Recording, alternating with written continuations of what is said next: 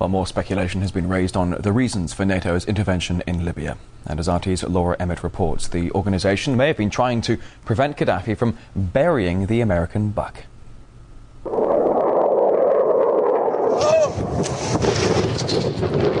According to some, it's about protecting civilians. We must not tolerate this regime using military force against its own people. Others say it's about oil. The only reason they're interested in, with Libya is about the oil. You'd think we'd be in Iraq if the major export there was broccoli. But some are convinced intervention in Libya is all about currency, specifically Gaddafi's plan to introduce the gold dinar, a single African currency made from gold, a true sharing of the wealth. It's one of these things that you have to plan almost in secret because as soon as you say you're going to change over from the dollar to the something else, you're going to be targeted. There were two conferences on this, one in uh, 96 and another one in the year 2000 called the World Mathaba Conference organized by Gaddafi. And uh, everybody was interested.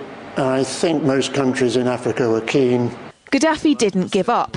In the months leading up to the military intervention, he called on African and Muslim nations to join together to create this new currency that would rival the dollar and euro. They would sell oil and other resources around the world only for gold dinars. It's an idea that would shift the economic balance of the world.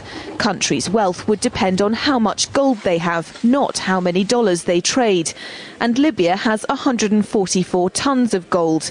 The UK has double that, but 10 times the population. If Gaddafi uh, had an intent to try to uh, reprice his oil or whatever else the uh, the country was uh, selling in the global markets and accept something else as a currency, or maybe launch a gold dinar currency, any move such as that would certainly not be welcomed by the power elite today who are responsible for controlling the world's central banks. So yes, that would certainly be something that would cause his immediate dismissal and the need for other reasons to uh, to be brought forth for removing him from power. It's happened before. In 2000, Saddam Hussein announced Iraqi oil would be traded in euros, not dollars. Sanctions and an invasion followed. Some say because the Americans were desperate to prevent OPEC from transferring oil trading in all its member countries to the euro. The UK's gold is kept here in a secure vault somewhere in the depths of the Bank of England. As in most developed countries, there's not enough to go around. But that's not the case in places like Libya and many of the Gulf states. A gold dinar would have given oil rich African and Middle Eastern countries the power to turn around to their energy hungry customers and say, sorry, the price has gone up and we want gold. Some say the US and its NATO allies literally couldn't afford to let that happen. Laura Emmett, RT, London.